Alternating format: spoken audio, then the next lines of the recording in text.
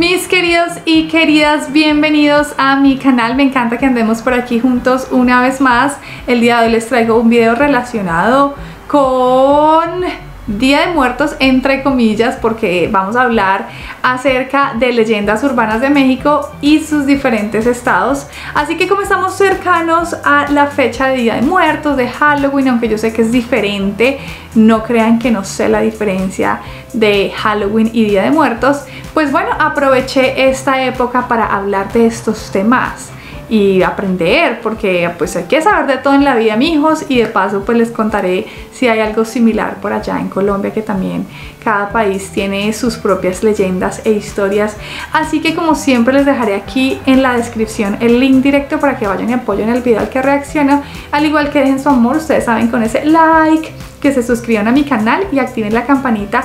Recuerden que los espero en mis otras redes sociales. Ahora sí, aprovechando que estoy con mi diademita de Día de Muertos, diadema o balaca, así le decimos en Colombia. Vamos a darle, vamos a darle. así como ustedes dicen, a lo que te truje chencha, nos fuimos. ¡Qué miedo! ¡Qué miedo! ¡Qué miedo!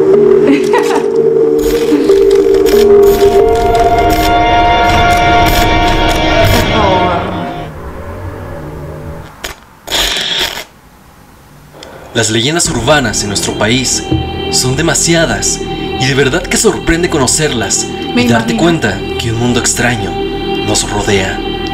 Y nosotros simplemente andamos sin saber que tal vez entes o seres extraños nos rodeen. Los misterios también se hacen presentes, es así que esta nueva saga abarcará las leyendas urbanas de varios estados de México. Ya había hecho esta versión, pero con la Ciudad de México es así que esta vez veremos unas cuantas más que seguro no conocías y te dará miedo conocer, porque hay algunas que son especialmente tétricas.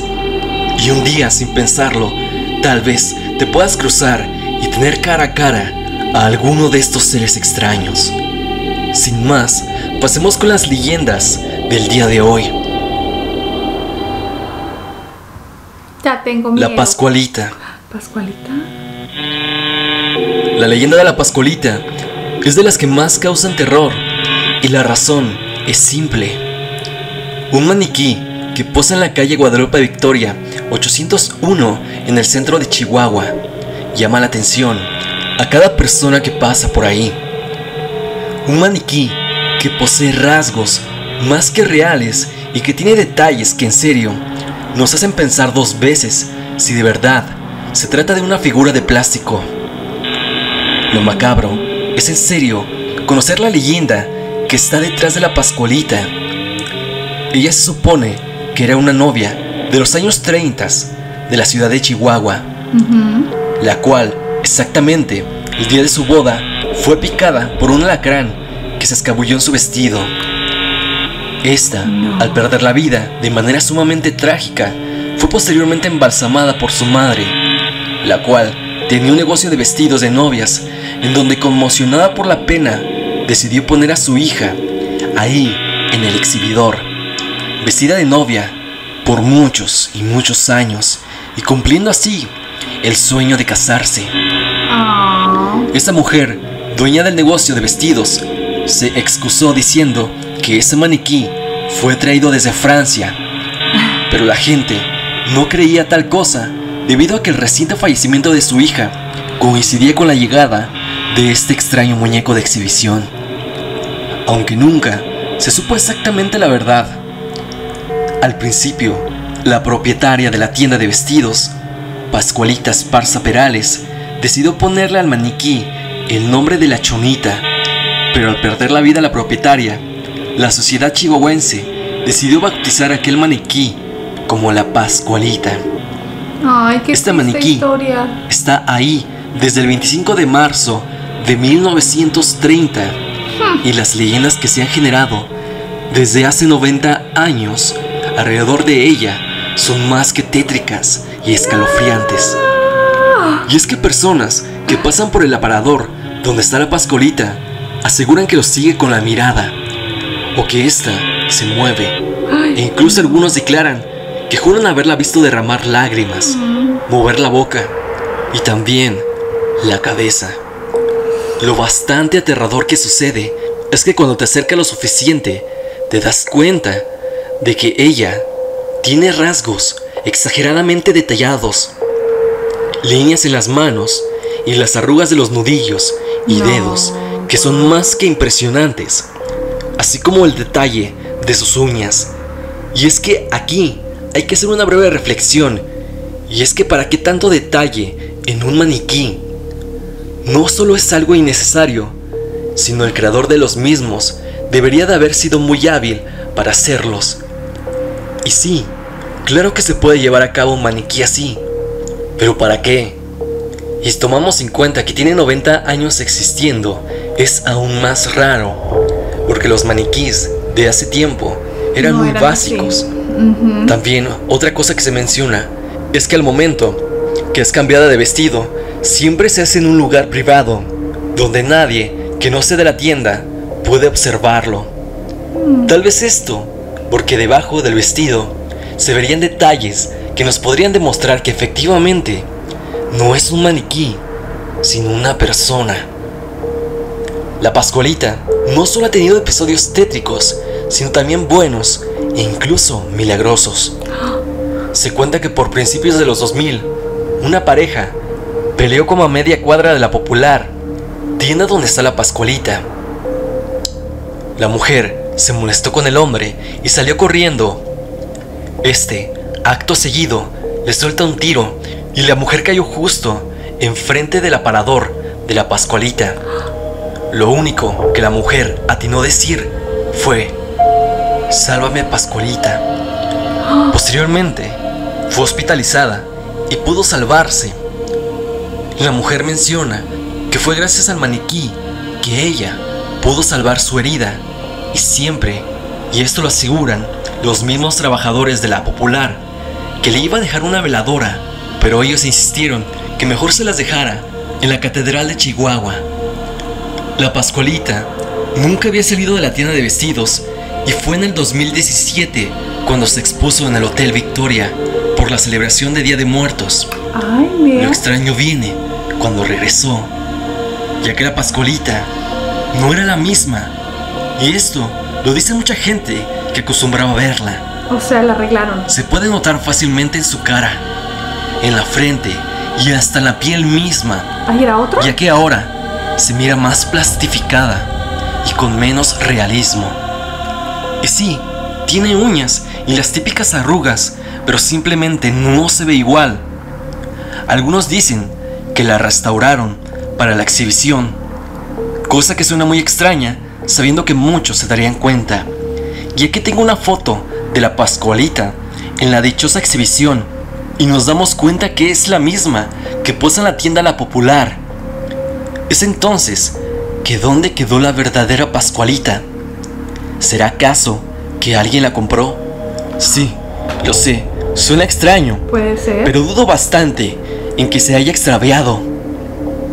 Tal vez alguien simplemente la adquirió como objeto de colección. Una teoría más que rara e improbable, pero eso podría ser una explicación de por qué el maniquí que lleva tres años ahí en Chihuahua es diferente. ¿Será acaso que alguien la tiene en su casa? Alguien que simplemente colecciona cosas extrañas o raras. Sé que esta teoría es por demás improbable y bastante extraña de escuchar. Pero ¿cómo no pensar eso si la Pascualita se mira completamente diferente? ¿Qué pasa con este maniquí que desde sus inicios ha sido un objeto misterioso. Algo sin dudas raro sucede con ella. Sea verdadera o no la leyenda, dime tú qué piensas sobre la leyenda urbana de Chihuahua llamada la Pascualita. Te leo en los comentarios. La planchada.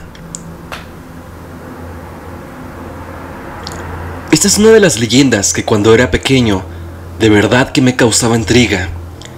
Y es que cuando se habla de la planchada, se habla no solo de un ente, sino de una leyenda que según por voz de muchas personas, puedes encontrártela cuando por cualquier tipo de circunstancia te encuentres en un hospital. Según algunos testimonios, una enfermera extraña, con vestimenta antigua, se acerca a ti en la noche, supuestamente para atenderte, pero al percatarte bien de ella, te das cuenta que esa mujer no es de este mundo. Los pacientes, al preguntar a otras enfermeras sobre esta mujer en específico que los atendió la noche anterior, ellas responden que no existe tal enfermera entre las filas del hospital y que tal vez se trate de la planchada. Los encuentros con este ente son diversos, pero la leyenda es de lo más interesante de conocer. A mediados del siglo XX, en el Hospital Juárez de la Ciudad de México, laboraba una enfermera que era más que entregada a su trabajo. Su nombre era Eulalia y siempre le gustaba tener su traje de enfermera bien planchado y pulcro, y de ahí que le llamaran la planchada. Ella ah. era una mujer que siempre soñaba con el amor y con encontrar un hombre con el cual casarse. Fue entonces que un día al hospital llegó un nuevo doctor, un doctor joven y guapo que cayó en el encanto de Eulalia y ella rápidamente se enamoró de él, cuando en una ocasión hicieron un servicio médico juntos. Empezaron a salir y al parecer todo iba bien, pero se empezó a correr el rumor de que el doctor era algo mujeriego. Tiempo más tarde, Eulalia se enteró que el doctor se había juntado con otra mujer y esta esperaba ahora un bebé. Mm. Es aquí donde Eulalia, con el corazón roto y media cabeza perdida, empezó a ser descuidada en el trabajo, no solo viéndose desarreglada, radicalmente diferente en apariencia, sino que empezó a perderle atención a los pacientes. Algunos de ellos perdieron la vida por no tomar sus medicamentos que Eulalia tenía que darles. Aunque algunos más atrevidos que cuentan la leyenda dicen que Eulalia no les dio los medicamentos a propósito. Ella, y como si fuera una maldición, enfermó de tuberculosis y falleció en cama de manera sumamente horrible. No sabemos si por arrepentimiento o por alguna deuda paranormal, pero ahora se dice que regresa del más allá para cuidar a los enfermos, ya que muchos pacientes que aseguran habérsela encontrado dicen haberse recuperado de manera más rápida gracias a ella. Esta leyenda es especialmente espeluznante porque así como lo dije al principio, puedes encontrártela, tal vez cuando seas internado en un hospital y estando ya adentro en cama, ¿a dónde correr? Esta leyenda, si bien la mencioné en el Hospital Juárez de la Ciudad de México, también hay una versión que se traslada a Ciudad Madero, Tamaulipas, en el Hospital Naturista, cerca de Playa Escondida.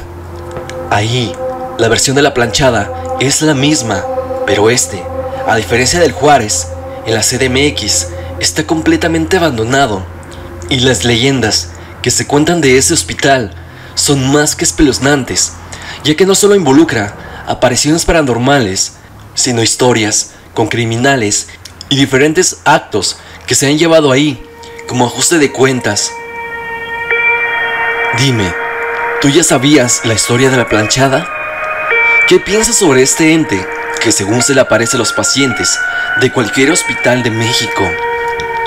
Estas han sido dos leyendas urbanas del interior de México. Este video tiene la meta de 2000 likes. Esto para continuar la serie y saber que les gusta. Si conoces otra leyenda que te gustaría que abarcara, por favor, colócala en los comentarios para tomarla en cuenta en la segunda parte. No te olvides de activar la campanita de notificaciones para que no te pierdas de nada acerca del canal. Sígueme en redes sociales ya sea en mi Instagram, así como en mi página en Facebook. Comparte el video con algún amigo, así me ayudas bastante a hacer crecer el público del canal. Sin más, recuerda que yo soy Stan te deseo dulces pesadillas.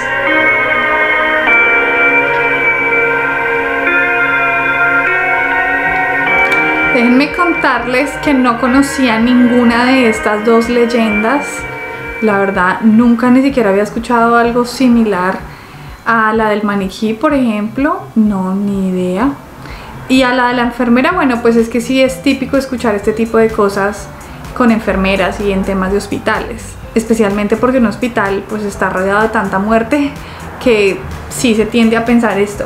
Como vieron la historia del maniquí, de la novia que fue eh, picada por el escorpión y muere el día de su matrimonio, pues primero que triste porque no pudo ni disfrutar ni siquiera el día de su matrimonio, porque uno dice, oiga, tanta planeación, tanto amor, se consume el amor ese día y justo ni a eso alcanzaste, o sea, no, qué triste. Y pues puede que sí, puede que la haya embalsamado, puede que eh, la haya preservado, pero estoy pensando es que lo difícil no es ni siquiera preservarla, sino lograr que se quede en esa posición así de pie con todo el peso del cuerpo. Esa es la única parte como que digo, hmm, ¿cómo lo podría haber hecho en caso de que sí sea de esta manera?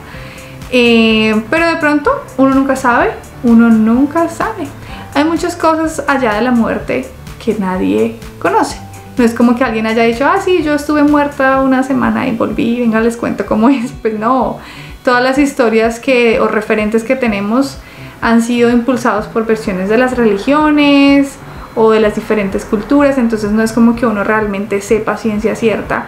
Yo soy de las que creo en la energía. Eh, el universo tiene energía y la vida es un ciclo. La muerte representa en cierto modo la vida, porque si no hay muerte, pues no hay más vida. Es como, como con la energía que se puede reciclar es una ley universal del universo eh, o, o de todo lo que nos rige. La energía no se crea ni se destruye, solamente se transforma. Entonces la vida es cíclica y seguramente las almas también se reciclan. Puede que sea así. Entonces nadie sabe realmente cómo funciona todo este tema de la energía y de cómo funcionan los diferentes planos, ¿no? Interesante. Pero yo creo que la muerte nos recuerda eh, la importancia de, vivir el presente, de, estar feliz con lo que tenemos, felices con lo que somos y así sucesivamente, pero yo personalmente no soy mucho de ver películas de terror ni que me guste mucho todo este tema. Me gusta informarme y escuchar por aprender de las diferentes leyendas que hay en cada país, pero que yo sea una apasionada del tema, no, porque realmente sí me da miedo. O sea, no es como que yo me disfruto viendo una película de terror, estoy sufriendo más de lo que la disfruto, entonces yo digo, ¿para qué? Pero esto no estuvo así como tan miedoso. Pero me gustó, me gustó conocer los nombres y las leyendas y ver que pues no estaban en cuestiones negativas del todo, porque la primera, la del maniquí, salvó a, la chica que había peleado con el novio y le dio el tiro, entonces ella se salvó. Y la segunda, pues es una enfermera que bien o mal estaba haciendo algo positivo porque les estaba ayudando eh, a los pacientes del hospital. Así que no fue tan miedoso como creí, fue más como tipo historia en general. ¿Ustedes qué video me recomiendan donde hablen de las leyendas urbanas eh, de los diferentes estados de México, por ejemplo, o de qué otro país eh, piensan que debería reaccionar a leyendas? Yo creo que de las más comunes está el hombre sin cabeza o el jinete sin cabeza, la llorona, el patasola, algo así. Yo me, me acuerdo de algunas que hay por ahí en Colombia. Así que bueno mis queridos, ustedes cuéntenme aquí su opinión acerca de este video si ya habían escuchado de estas leyendas y eh, si me quieren apoyar recuerden que lo pueden hacer por medio de ese like, que se suscriban a mi canal y activen la campanita, recuerden que los espero en mis otras redes sociales. Ahora sí mi frase favorita, mi corazón es mexicano, mi sangre colombiana. Nos vemos en un próximo video. Chaito, chaito.